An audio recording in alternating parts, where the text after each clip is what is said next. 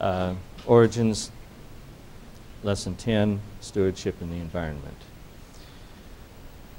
What we're studying today is the Sabbath School lesson for the first quarter of 2013. What I will do is go through it with a few comments and then uh, some end comments of my own.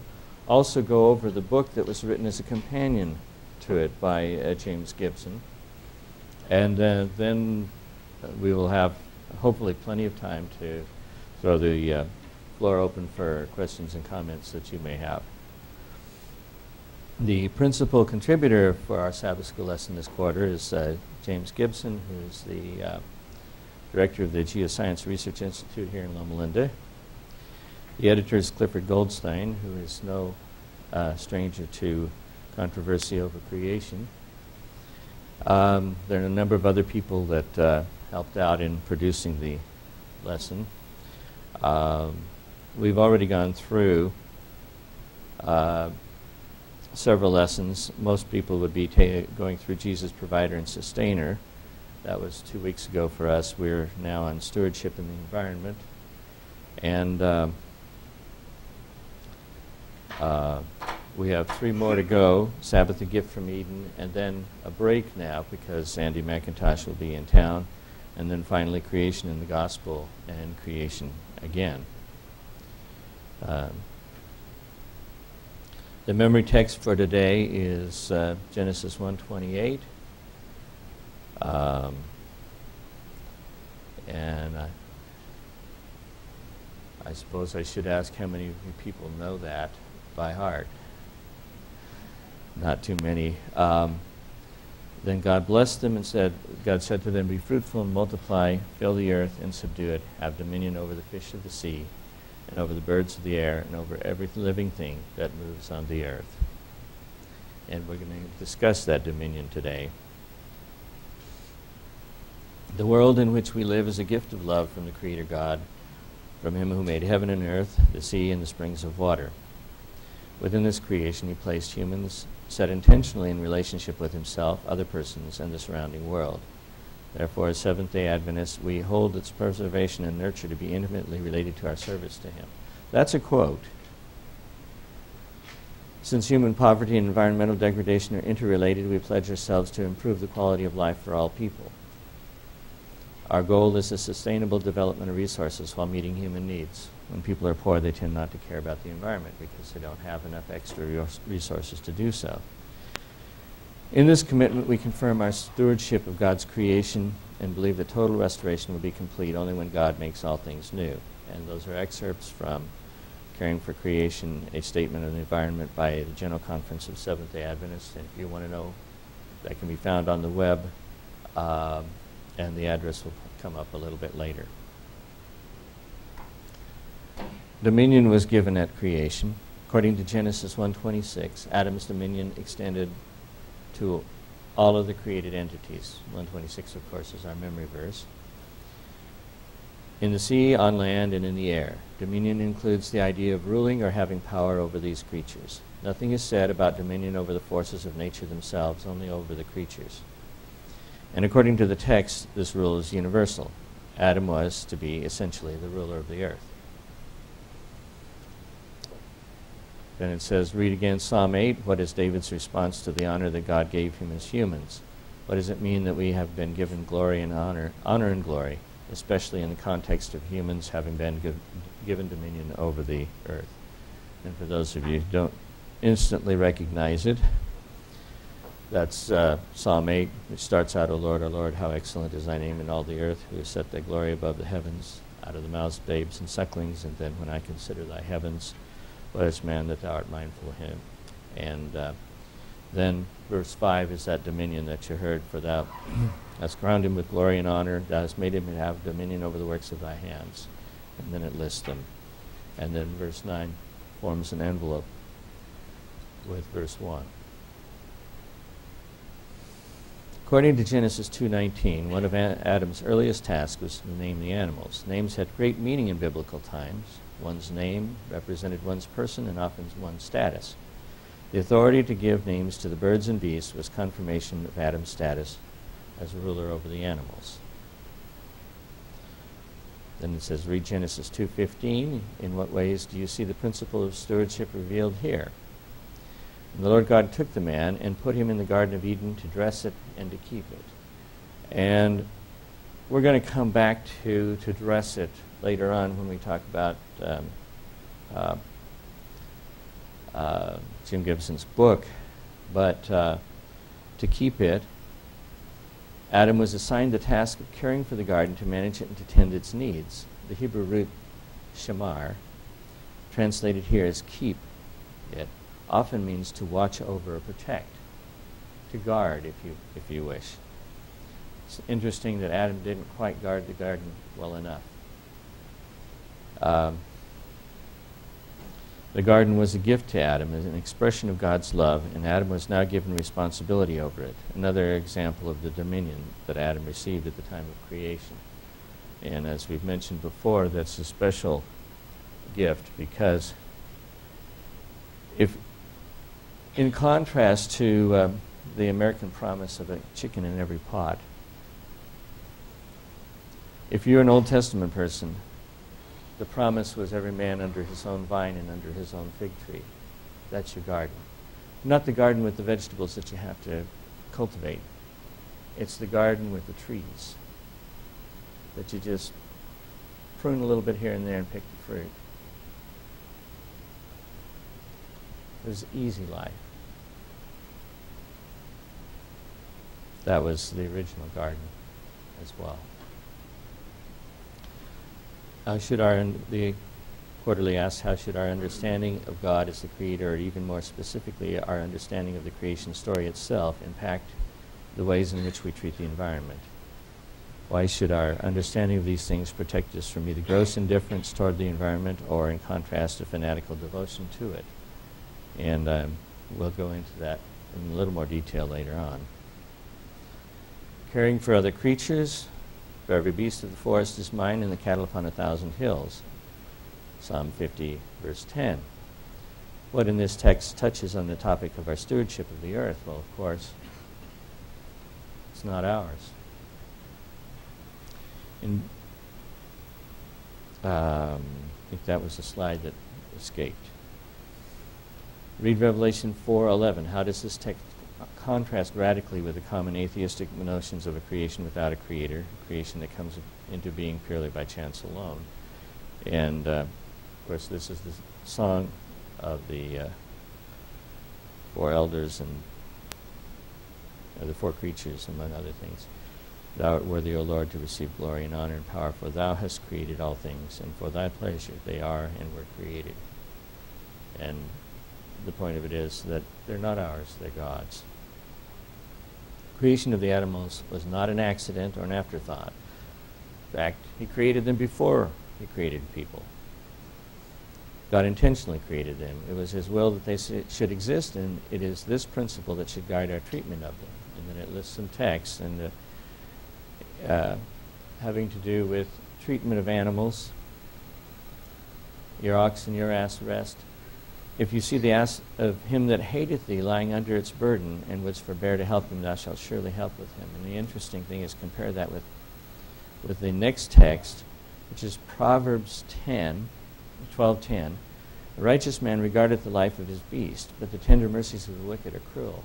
And in fact, if you want to be, if you want to put that with the text, uh, Exodus 23.5, it implies that a righteous man not only regards the life of his own beast, but he regards the life of the beasts of the wicked.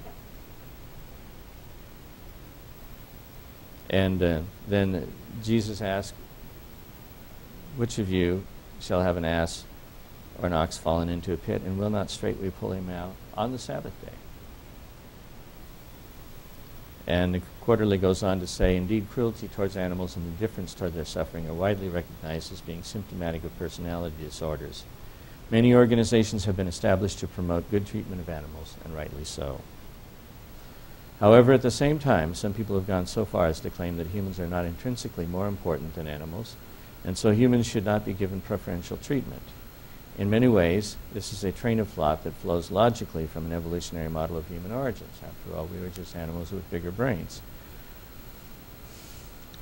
If we are only separated by time and chance, why should we be more special than they? One philosopher has even argued that a chicken or a fish has more personhood than does a fetus in the womb or even a newborn infant. However ridiculous these ideas may, might sound, they can be derived with a fair amount of logic from an atheistic evolutionary model of human origins. Of course, such ideas are not supported in Scripture. Humans have special status in God's plan in contrast to the animals, and uh, God made Adam coats of skin. He uh, inst- instituted the sacrificial system. Animals die in the place of humans. And he allowed us to eat animals. Although, of course, that wasn't the first diet. And then the quarter said, put yourself in the mind of an atheist evolutionist and work through the reasons for why you think that animals should be treated no differently from humans. What should this tell you about how important our presuppositions are in determining the outcome of our thought? Then uh, the next uh, day it talks about the Sabbath and the environment and as we've seen, the, uh, the, concept of stewardship in the context of the way in which we take care of the planet is tied directly to the creation. Our views of creation will influence our view on the way in which we should relate to the creation. For some, the creation is to be exploited, used, even pillaged to whatever degree necessary in order to fill our own desires and wants. Others, in contrast, all but worship the creation itself. And it says, see Romans 1.25, which, who changed the truth of God into a lie and worship and served the creature more than the Creator, who is blessed forever. And there is the biblical view, which should give us a balanced perspective on the way in which we re- relate to the world, the God that the Lord created for us. And then I'm not going to read Exodus 28 through 11. I'm sure most of you have that memorized. Um, it asks, What do we find in this commandment that relates to stewardship?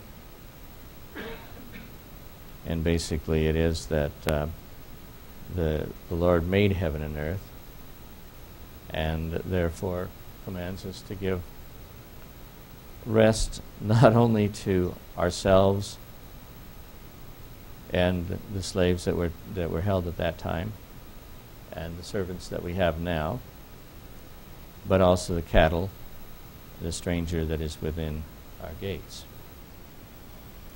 God set aside the seventh day Sabbath as a memorial and perpetual reminder of his creative act and the establishment of the world. And stewardship flows from that. That's another excerpt from Caring for Creation. It's a fairly short, probably has about six paragraphs in it. I didn't actually count them, but I read it.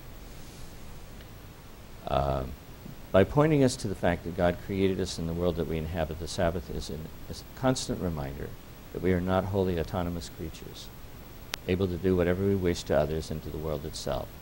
Sabbath should teach us that we are indeed stewards and that stewardship entails responsibilities. And as we can see in the commandment itself, responsibility extends to how we treat those who are under us. Think about how you treat other people, particularly those who are under your dominion, if you're an employer, for example. Are you treating them with respect, fairness, and grace? Or are you taking advantage? If the latter, remember one day you will have to answer for your actions. Stewards of our health, we're stewards of a lot of things, and uh, the environment is not the only thing.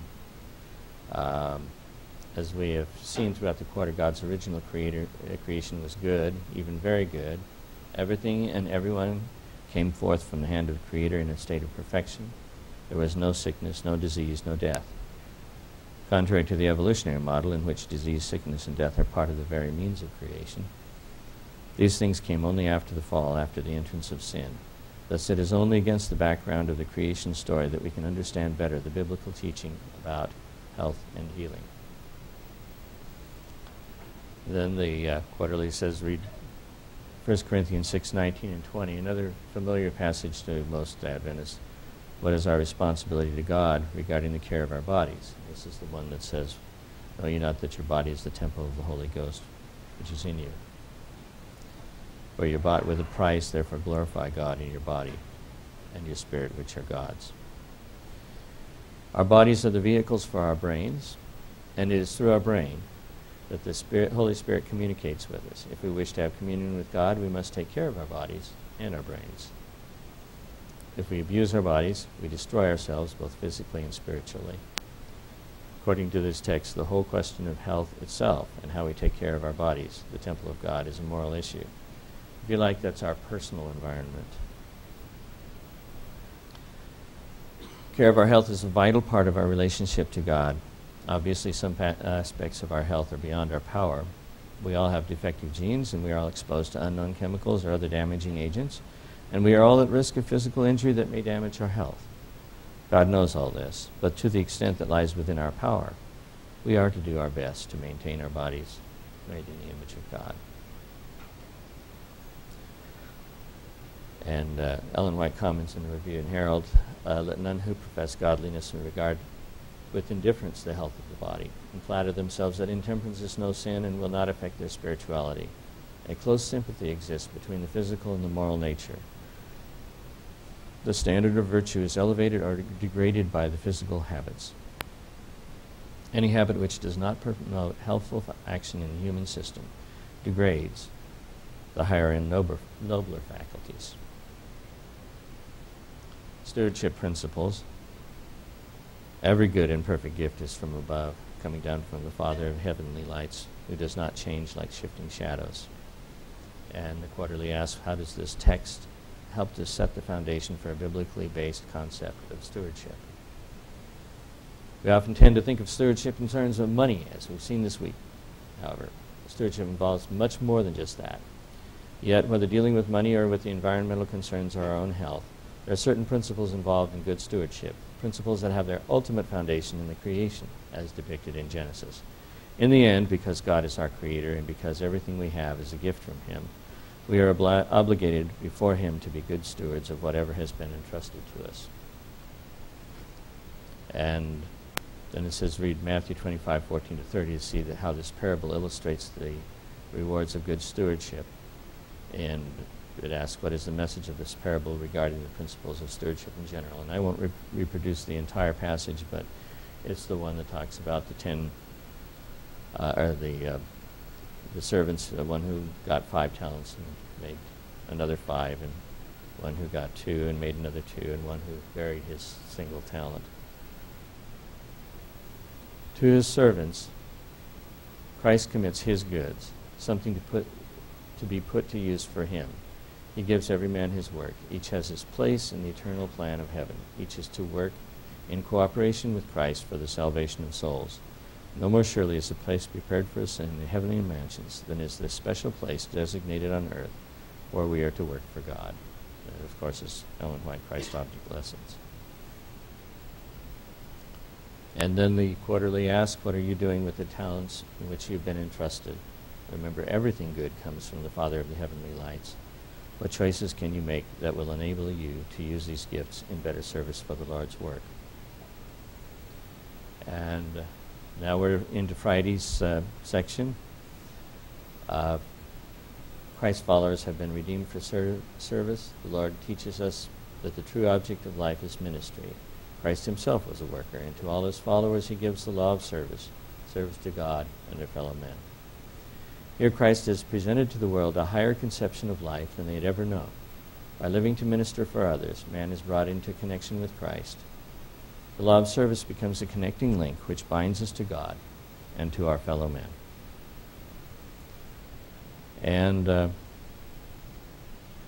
now we're going to switch to comments from uh, Jim Gibson's book Origins that uh, were not directly found in the quarterly. Uh, obviously, I'm not going to read the whole chapter; it's that's too long. But uh, give you some of the highlights of things that were there that I found interesting. Good rulers keep the best interests of those they govern in mind, while bad rulers govern for, govern for their own benefit. And I think that's an important distinction that uh, is sometimes lost. Adam was to tend, literally to serve, Abad, the garden. Um, The word, the word Eved is actually the Hebrew for servant or slave, and the distinction between those two is kind of lost. Um, uh, so Adam is not just to keep the garden, he's actually to serve it. Interesting that he's given dominion, and his dominion is to serve. This is Old Testament support for Jesus saying, He who is the greatest of you must be your servant.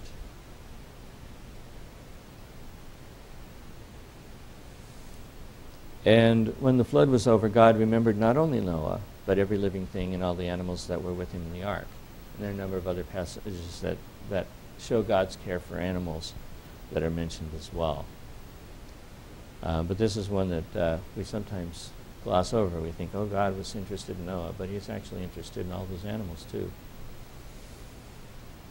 Uh, in the notes, and I'm not sure quite why this uh, got in, but it's got in twice now in the book, and that is Jim Gibson is saying that there's no basis for supporting that the behemoth of Job was some kind of dinosaur. Um, and that, of course, will uh, raise some interesting uh, questions in, in some people. Uh,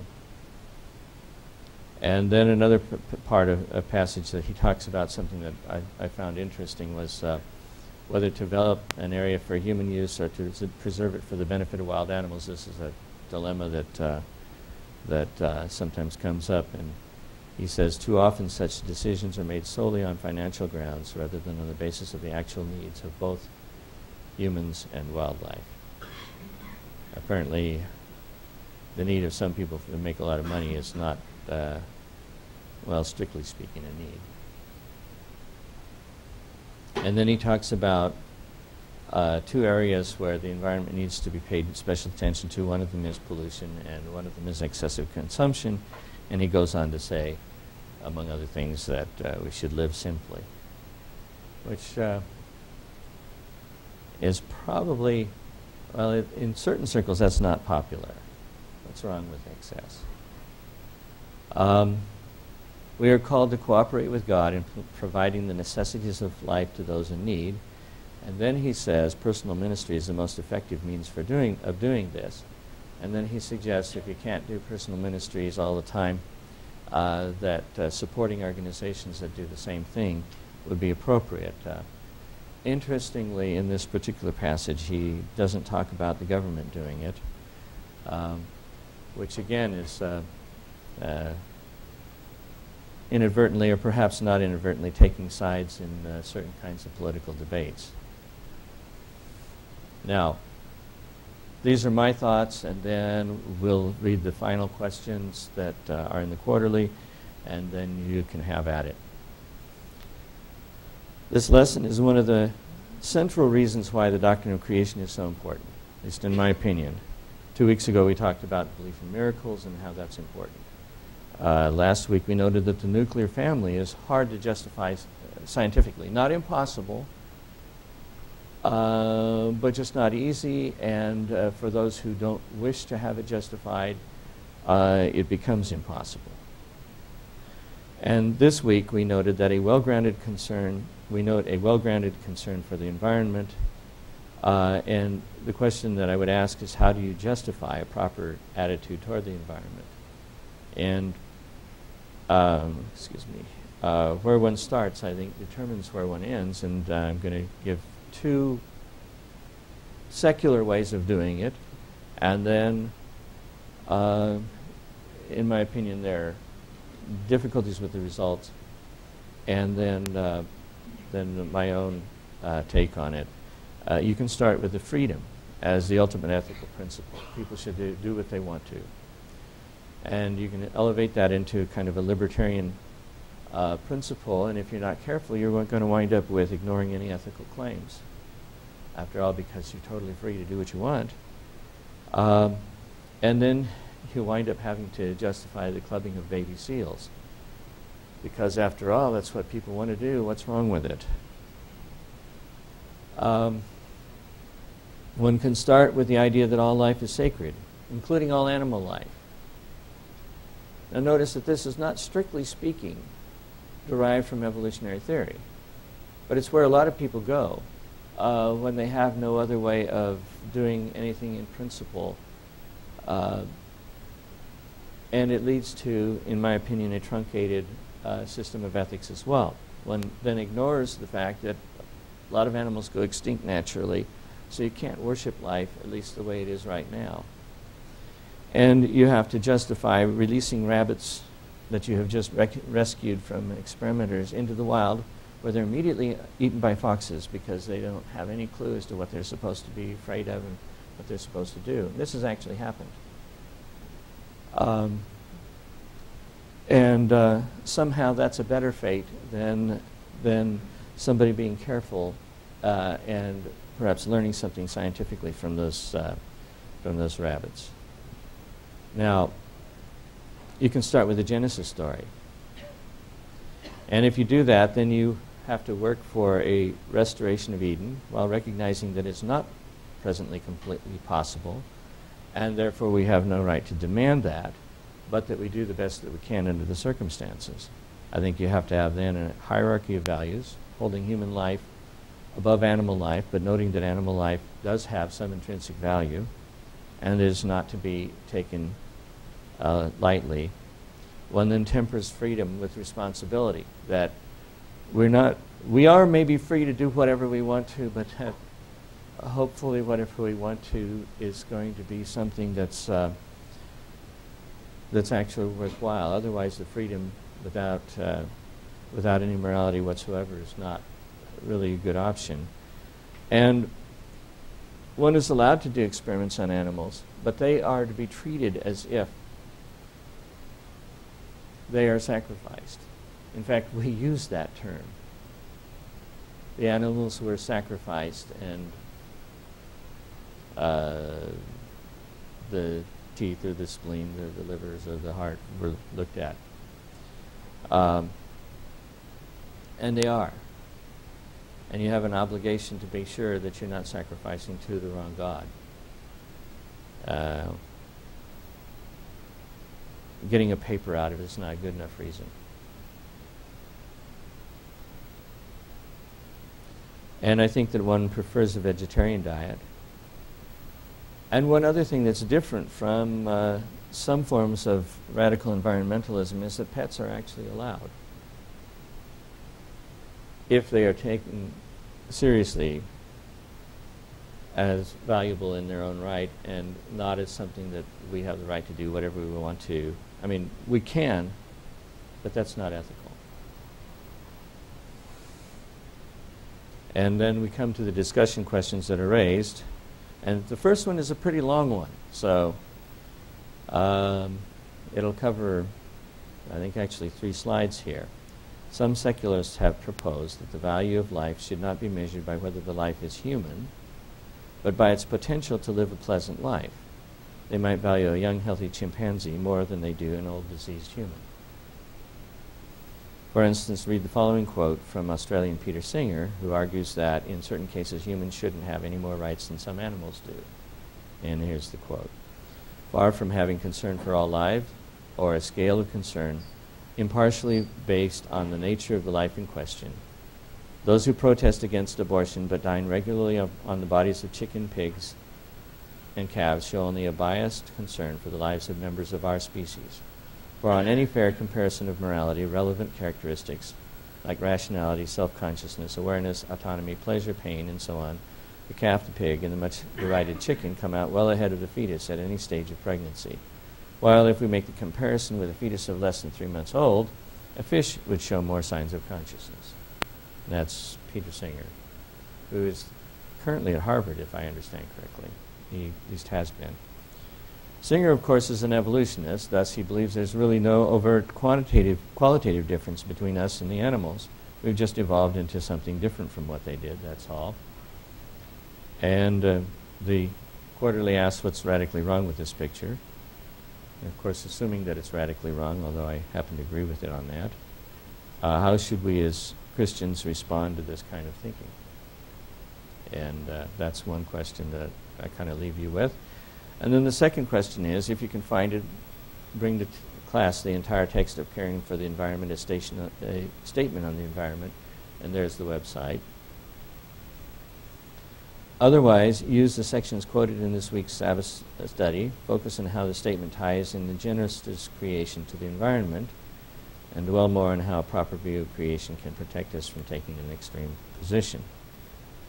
And that concludes the questions that the quarterly left. And so now you get to ask your own question and comment on them or whatever you think is uh, appropriate to comment on. And we're going to try, we're, we're, recording this, so uh, for those of you who haven't been here before, um, if you get the microphone, you may find your voice on uh, the internet someday, so for what it's worth. Um, uh, you're welcome to uh, uh, make, make whatever comments you have. We, will try to we'll try to accommodate uh, those of you who can. We have one back there. Pass that mic back, and uh, and then uh, we'll get you third. Go ahead.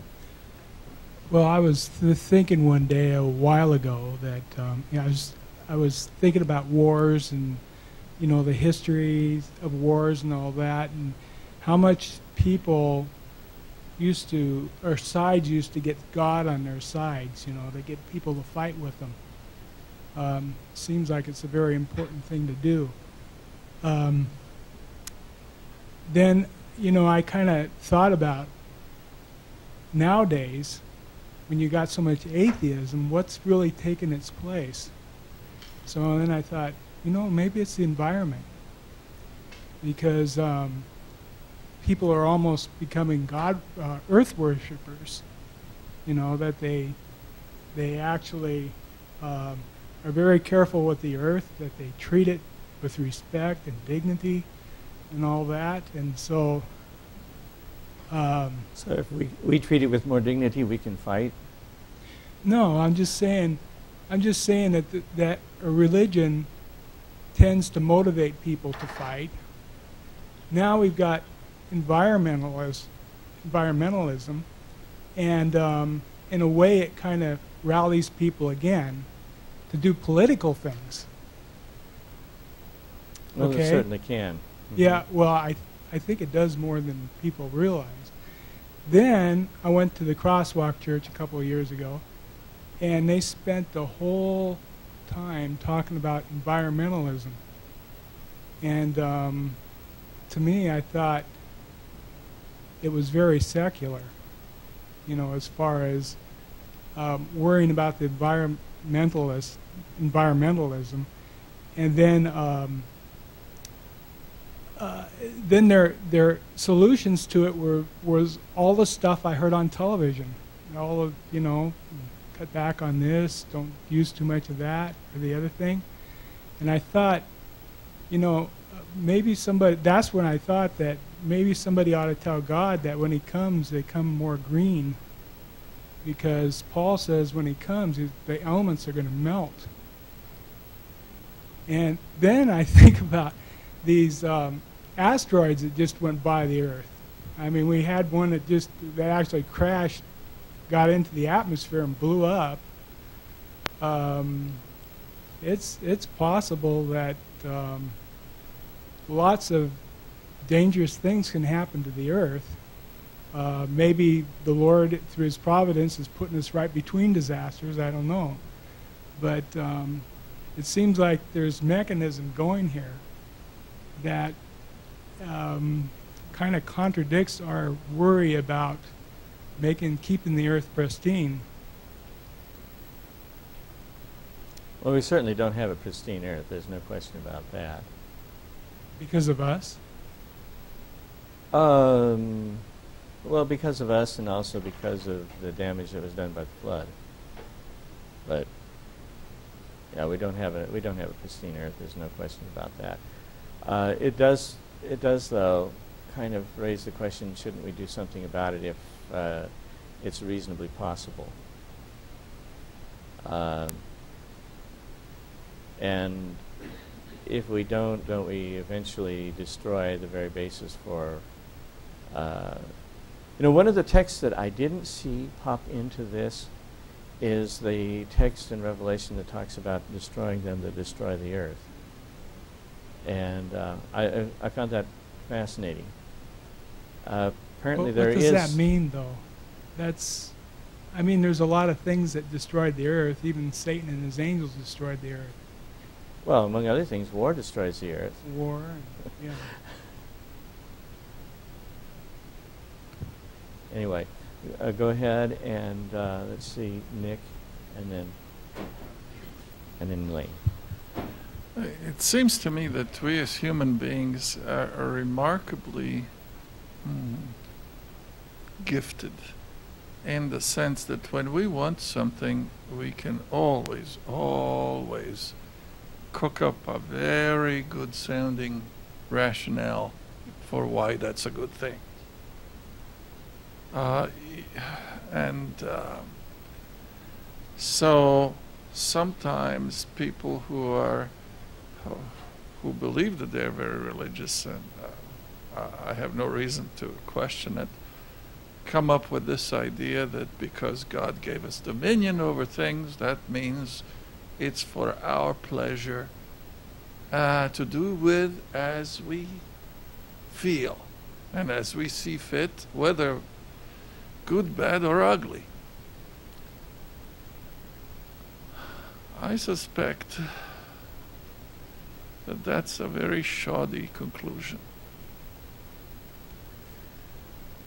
On the other hand, if I think about people who start from the other spectrum, i.e., survival of the fittest, I don't see how they could possibly come up with preservation of some endangered species as a as a desirable goal. I mean, isn't evolution supposed to eliminate species, species. wholesale in order to promote some to take their superior place for some reason? After all, all the dinosaurs died so that the mammals could take their place. There is all kinds of uh, explanations to such effects. T- to me, that, that I don't, it sounds somehow. The logic of that sounds somehow hollow. What what bothers me is that people from both ends of this spectrum somehow end up with uh, reasoning that essentially undermines the very house we live in. And it, it seems just plain destructive. What, what's more is it seems like a form of scapegoat hunting. Um, if you're trying to do something for somebody, but you happen to have the opposite ideology to mine, then everything you do is wrong by definition. And vice versa. This kind of politicization of just about every line of thinking is not helpful. Um, it would seem to me, sometimes I have felt that I had more in common with a faithful evolutionist than a faithless Adventist. This may be a radical statement to make, but one thing that seemed to me that I had in common is that both of us were faithful. Though to different things. And I could kind of relate to the faithfulness, if not to the object. But I have difficulty with people who want to have it both ways, who want the goat as well as the money. That's a problem. I don't understand how one can do that. Or in the immortal words of uh, Theodore Kaczynski, eat your cake and have it too. Go ahead. And I would like to address uh, two issues. The first one is the environment, how to have a reasonable balance between opposing interests. We don't want a pipeline going through the U.S. because it may pollute our environment. Our environment is sacred, but the environment of uh, Saudi Arabia and Iran and Venezuela is not sacred. So we will fight wars. We will kill lots of civilians. We will kill our own soldiers to protect the oil that we get so that our environment is not polluted. Now, the other thing I would like to mention is you made reference to autonomy, to stewardship, and abortion. Now, autonomy means, means self government. I checked my dictionary. That's what it says. It's self government, not government by some other authority. In Apos- the Apostle Paul, as you mentioned, said, Our body doesn't even belong to us, it belongs to God. Yet, some of our leaders, and I will not name names, use the argument of autonomy in order to build our guidelines on abortion, defending the idea that women should have a choice. A choice to do what? To do good or to do bad? Choice, a choice to kill their own unborn babies on the basis of autonomy. I think this is wrong. I, I could be wrong, but please tell me why I'm wrong. Uh, Elaine, and then uh, we have a comment right next to you. Um, Thank you, Nick. Um, What I was responding to was the text that God would destroy those who destroy the earth. And I think this must be really sad for God. But when he was falsely accused by his most supreme creation, the greatest being he ever made was Lucifer, and still probably the smartest being in existence. And this amazing angel turned against him. Well, what's God going to do? Wipe him out? That isn't going to work if love exists as a real thing. And so he has to let it self destruct. And I think in my choosing to be a creationist who believes in Scripture, in my choice ahead of science, which generally I don't have to make that choice, science backs it. But I am choosing to be on the side of the one who is not going to self destruct. Whatever the cost to me. In the meantime, because there's a war going on.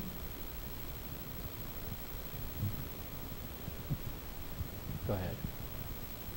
Yes, you said something early in your presentation that was helpful to me, and that is about how uh, an inappropriate presupposition can lead to a truncated sort of philosophy. And as a health ministries director in our conference, I, I am walking into a situation like that next week, and I and I think of the wonderful tensions that the Bible gives us, and and the Lord tests our reasoning powers. He he wants our faculties to be balanced because we were originally endowed with balanced minds and noble characters, and so this idea that you put forth is helpful to me. And I think of the tension in this topic with Isaiah chapter 24, where it says, The earth mourns and fades away, the world is languishing, and uh, the earth is defiled under its inhabitants because they've transgressed the laws, moral and physical, natural, civil, everything, broken the everlasting covenant, and the curse has devoured the earth. Now, I will be dealing with a group of people next week who land very hard on that, and they are a rabid uh, environmentalists, and I expect to get a good picking at over it. But I, I, uh, while I respect, I think some of their positions, I am also reminded and, and filled with hope with Genesis chapter 8, verse 22, where the, the Bible reassures us while the earth remains, seed time and harvest, cold and heat, winter and summer, day and night, it shall not cease. And so, yes, there are some levels of problems with this planet and with what we eat. But God has built so much redundancy into the food supply. He's built so much wonder and, and so such adequacy even now, even in the face of these problems. And if we don't have a healthy appreciation of that, then we will be hopeless, miserable, sour people who have lost their mission to win souls for Christ.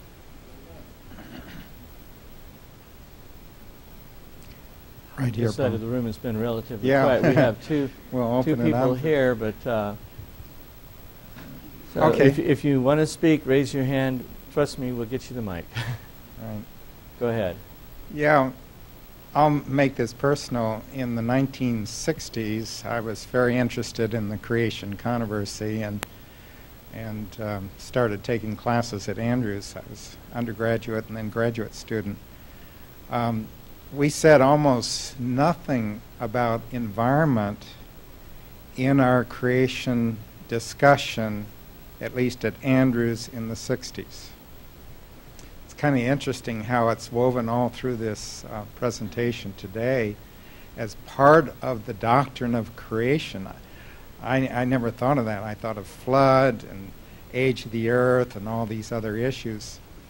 And then in 1980s, when we returned to Andrews, my wife and I, and we had a little girl that came up through Ruth Murdoch Elementary and then Andrews Academy, she was the one that had to educate us as parents about environmental concerns and recycling and, and all kinds of things.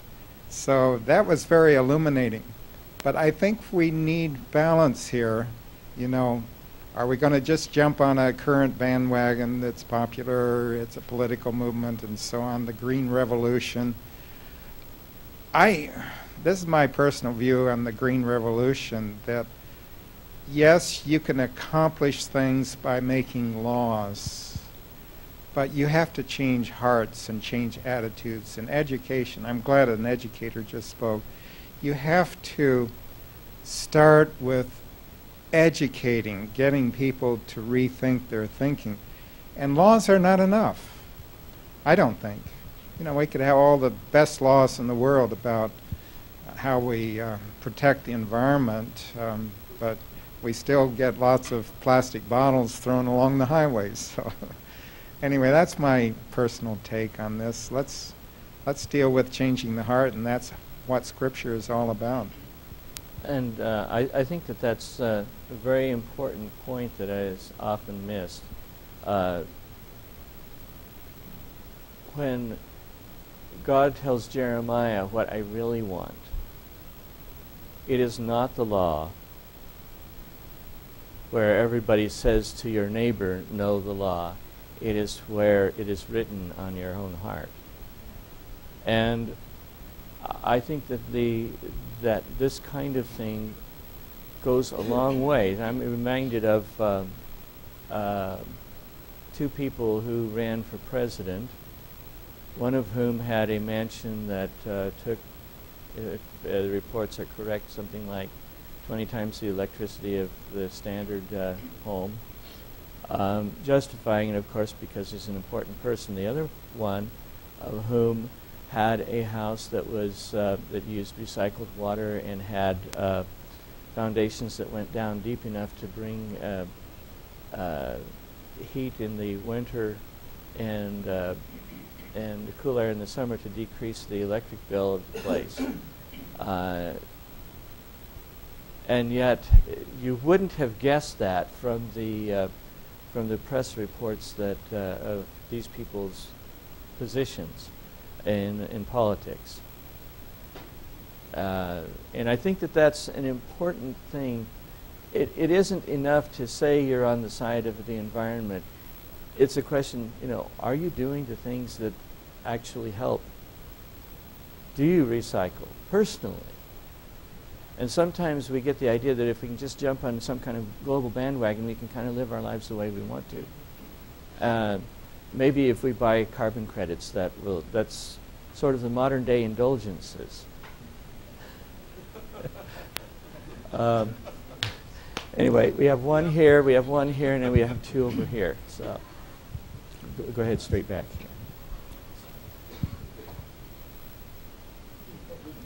Go ahead.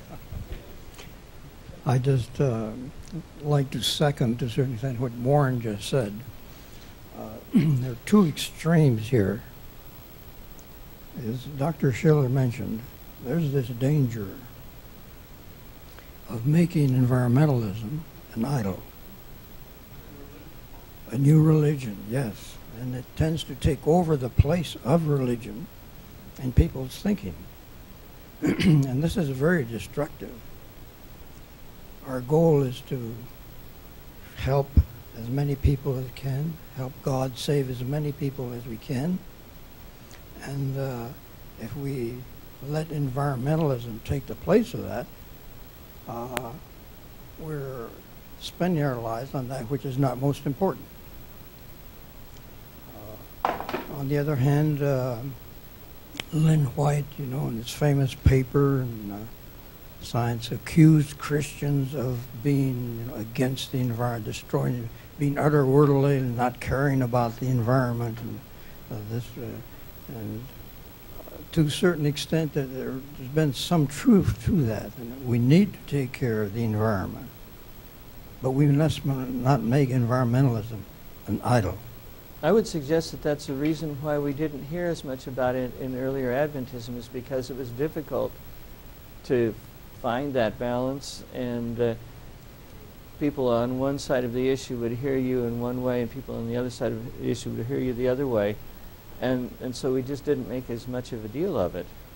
Um, but when I was a kid it was it was already thought you know you really ought to they didn't call it the environment they, but the, you shouldn't trash the the roadside for example and uh, in fact, we used to, you know, if we were in some place, we'd we'd leave it cleaner than when we left, when we came.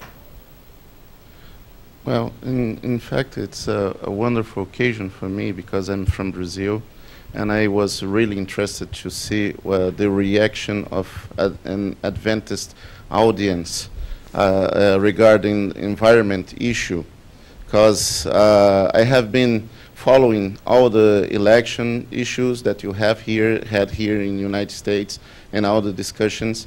And uh, what, what I have seen from outside, from other country, that uh, most of uh, traditional uh, religion persons, from Baptists, from uh, Pres Presbyterians, from Methodists, uh, they are creationists, they are also development uh, people. They are pro pipeline, they are pro some things.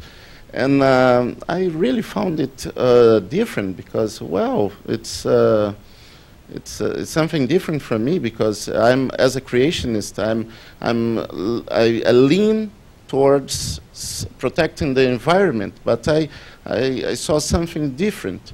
And, uh, and what conclusion did I come? First of all, that uh, as Seventh-day Adventists, we have a unique message regarding environment because we, we are creationists by one side. We have the Sabbath as uh, our, one, of the, one of the foundations of our beliefs that uh, reminds us every time, every week of the creation. We, are, we have the expectancy of the second return of Christ here, then we saw all we see all these shifts in the environment and uh, in weather, and we see this uh, some some uh, as something predictable. And uh, I, I, first of all, I really see this as something special that uh, we have as Seventh-day Adventists. Second of all, uh, by all the, the discussion that was presented, I, I really see that our stewardship and is uh, with God, not with the environment. There's a huge difference there, because some people are stair, uh, they have their um, commitment to the environment and uh, the environment only, and they go far beyond with some ideas, with some uh, some extreme ideas regarding protecting the environment. But when we see uh, our allegiance with God, uh, we see our uh, our still worship towards the environment as a consequence, not, not as a cause, not as a foundation, but as a consequence to be a good Christian, to follow Jesus, and to expect the Christ's return. Go ahead. Um, I'm from Oregon now, but I was living here, and I know several of you here. Uh, but, uh, you know, I just think about the story in the Gospels where Jesus fed thousands of people, and then when they were collecting up the food, he said, Don't waste any. Come bring the food, and let's not waste any. And I just, you know, in my own life, I remember my grandparents uh, living on a farm, and, uh, you know, hearing stories about they would fill the bathtub with yay amount of water, and everyone would use the the same water to take a bath every day. They would uh, they would be very careful with the the um, the glass jars that they would collect from the purchases they made. And you know, my grandfather just died, and we were down in his basement, and he had all sorts of jars and, and things that they had been very careful to not throw away and, and to and they were very careful with consumption. And I just think about my own upbringing. I mean, we, we filled tons and tons of trash bins every day. I mean, we would just go buy the stuff at the at Costco or wherever, throw out the plastics. You know, we don't care where we don't think about where does that go? Where does all that end up?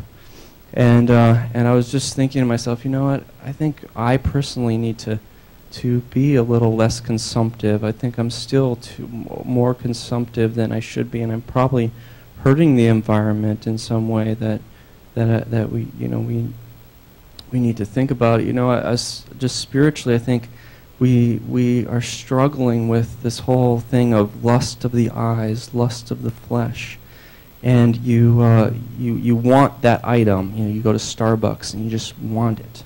You want that coffee or you want that whatever it is that that container of something, and now you have this container and you don't want to keep it in your house you know, pretty soon you're going to have a thousands of them, and so you just throw it out. And I, I was just thinking that we may, maybe need to to get back a little bit toward how our grandparents used to live. I'm sure many of you were had those kinds of experiences, and and you know, obviously we're trying to find a balance, and we don't want to be you know so you know lack of consumption that we you know that we're hurting our health in some way, but I think that we are still, many of us are still far too consumptive in our lifestyles, and I was just thinking that I need to perhaps improve that as well.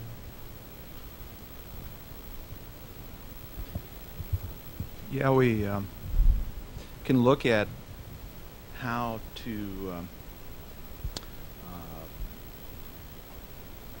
consider the you know the, the fact that in a developed nation, though, um, when a disaster, natural disaster occurs, the effects are usually less damaging or less extensive in terms of human life as compared to third world countries. So that this the development the, of a higher standard of living actually creates a situation where uh, one is more safe against uh, natural disasters. And uh, you know, you can think of uh, the Hurricane Sandy when it tore into the north uh, northeast. If that had happened in a third world country, you would have had many, many times more of life loss than, than, than, uh, than what happened there. And it was because it was highly developed. And uh, so there is, in a way, a natural uh, uh, consideration that one takes towards, you know, the, the importance of development in a, in a country. Uh, so i it's how we handle it that uh, becomes uh, the key issue. I would have to agree.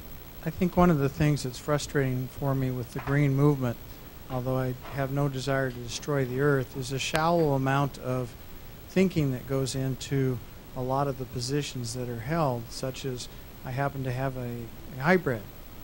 But the batteries in that hybrid and the rare earth elements in that are not mining that in China is not exactly helping the environment right now. So there's most of these issues, if you don't look at them a little more carefully and you do what most political politicization of them does is very shallow intellectual thinking, you often don't arrive at good conclusions. And and because there's a lot of variation in how you can look at these things, unfortunately, it's human nature to whatever doesn't affect my lifestyle is righteous, and whatever affects your lifestyle that may be hurting the environment is bad, and therefore I can gloss over mine and rationalize mine. But there are a lot of pros and cons. Uh, The pipeline, um, forgive me, I thought it was a natural gas pipeline. If it's a natural gas pipeline, then the then the, the um, environmental effects on natural gas would be less than oil, and and so it goes. You know, if we went back to a more simple lifestyle and burned wood, we would then hurt the environment, and so forth. So I, I think that, that it's we should think a little deeper scientifically, a little more carefully before we jump on one position or other and allow others to look at it differently. The best rational response to the environment issues of global warming I saw was recently a movie called Cool It by an environmentalist that deals with how the money's being spent to fight global warming and what could be done to help starvation and the health of the people in third world company, countries with the same money, which would then affect our environment and the amount of things that are burned and the jobs that they have and the way that our, our temperatures are affected even greater than all the money we're spending doing the things with carbon changes. And it was a, a good, called Cool It. Was a good rational, one of the few rational approaches I've seen to dealing with global warming issues. Now, um, I'm going to point out, I know some of you have other places that you have to be. It is now 11:30, so I'm going to uh, I'm going to allow a couple of other comments here, but uh, I, if you need to, to leave, you may do so without embarrassment. And those of you who wish to continue commenting can, can do so. Uh, let's see, we have one here. We have one, uh, uh, Ariel Roth.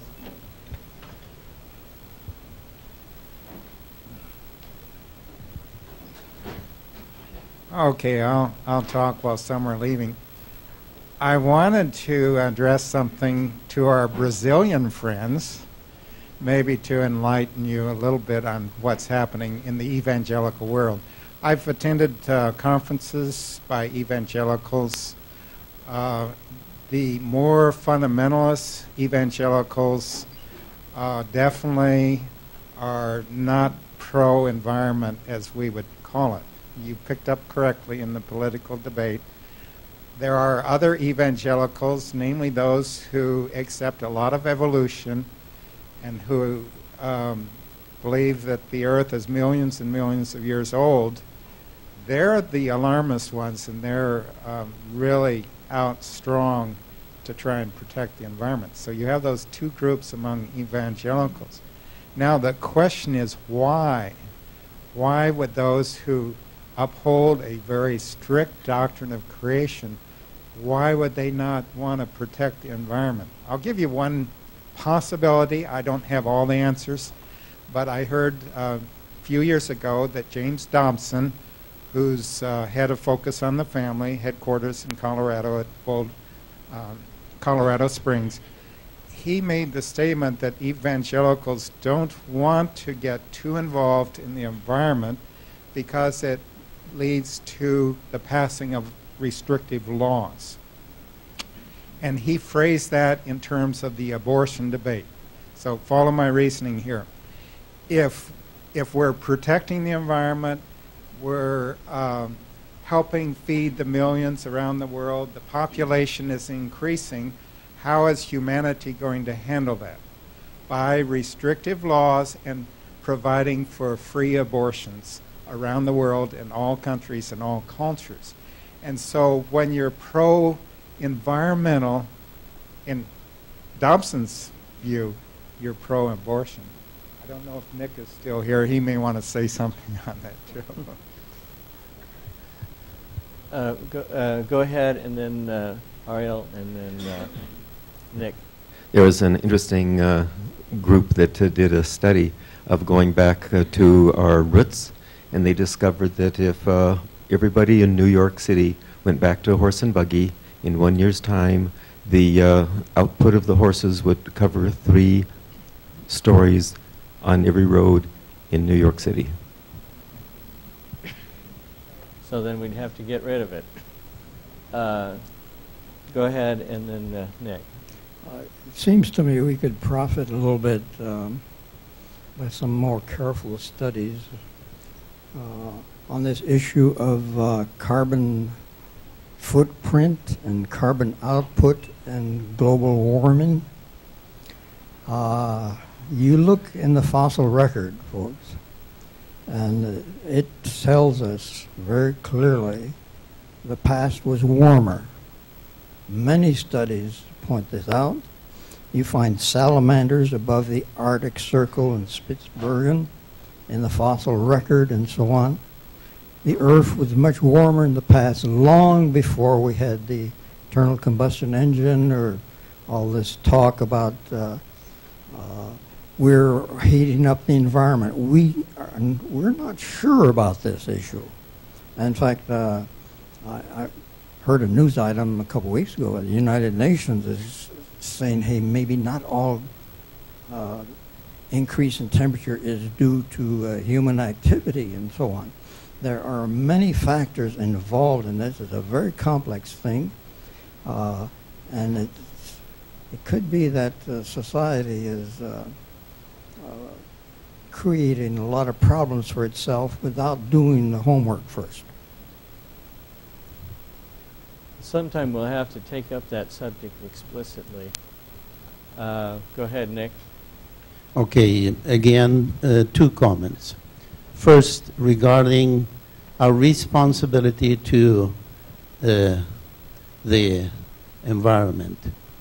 Uh, I remember when I was young, water was very scarce for us. We were poor. I had to walk several blocks to get the bucket of water and several blocks to get to the to a faucet where you turn the faucet and get free water. And people used to sell water, and sometimes we had to buy water. So imagine when uh, a bathing time came, you had to be very careful. Now, I was reading that because of this, used to be the following practice. The first one to bathe was the father, the man, then his wife, then the children, and then the babies, in that order.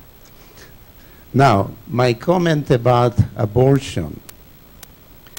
This argument was used several decades ago very, very effectively in order to support abortion. And even our president of the North American Division, Neal Wilson, used that argument when he said, the Adventist Church is leaning towards abortion because there are too many people in the world and too much hunger. In other words, we should start killing the unborn because otherwise we are endangering the world. And at that time, I do remember that uh, there was an argument saying that the population explosion was to be feared more than the atomic war. Now, what you're saying is that people like James Dobson were not totally off the wall when they had those fears.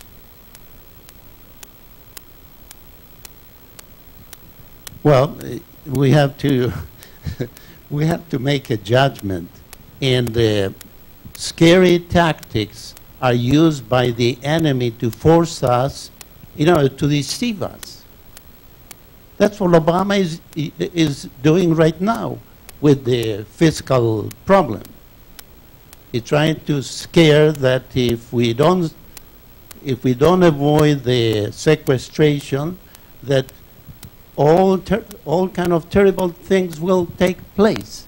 And the uh, the truth is that what Republicans want is just to put the, a stop to the increase of spending, not to decrease the spending. It's all deception, based on deception. Well, I think, I think that's a, a major problem in this whole thing, is that people are saying what they don't actually uh, want to do. Um, The Malthusian mathematical model that was used to create this scare during that time turns out doesn't exactly apply as directly as we thought. We've applied that to AIDS, we've applied it to another things, and sorry, it's not that straightforward. There are an awful lot of factors that control many different populations. I would like to say it some other way. But also, there's a real simple thing, and that is when women are educated, the population, the uh, number of live births that live past age five drops to about two per family when a woman can make even a minimal amount of money. Interesting.